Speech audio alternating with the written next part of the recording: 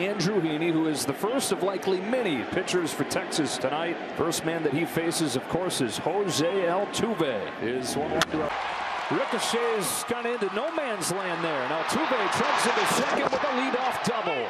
He used to win the game 8-5, and this guy had a big part of it. In front of Tavares, contact guys in the league, and Alex Bregman, who's struggling to get going in this postseason, and 5 for 27. It's over his head. Bregman for third. Pulls off line.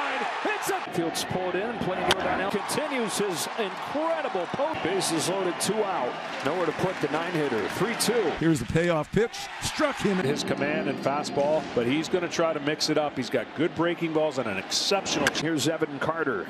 Camped under it, makes the catch and the side. He's going good. He is as frustrating against a pitcher as you can imagine. Another 0-2. Sit on an 0-2 pitch. I just don't understand that. Chip series. Chops this one to Seager at short. He'll feed it on order coming up for the Rangers as Adolis Garcia leads off. 2-2.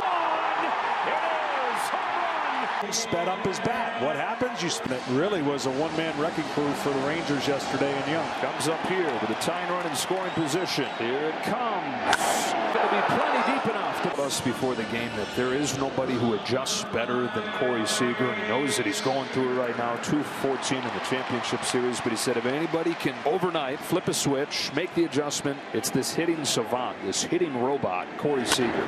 Field. This game said it. He hasn't gotten on top of any fastball. Run triple. The infielders play back. Another 2-2. He's five for seven with two home runs, and one of the two outs was the home run robbery last night. It's the ninth pitch from Bradford. Alvarez just enough. Out of the woods yet. First and third, two gone for Abreu. Another 2-2 pitch to Jose Abreu. Swing down. Palacalle. Si, senor. Abreu.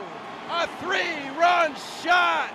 Si, senor. Didn't miss it. What a swing of the bat. 438 feet off the... Crooked innings of Corey Seager. First shortstop with a home run in both the ALCS and the NLCS. The first at Abreu, and it is safe. The batting glove flips down. And racing back, reaches up, makes the bat. Left-handed pitcher. See what he does here. Close stance from the right side. He's over 2 and a walk. He's at the wall. It's gone. It's ballpark. He's hit a couple balls hard, had nothing to show for it. Well, now he does. One gone, Josh Jung.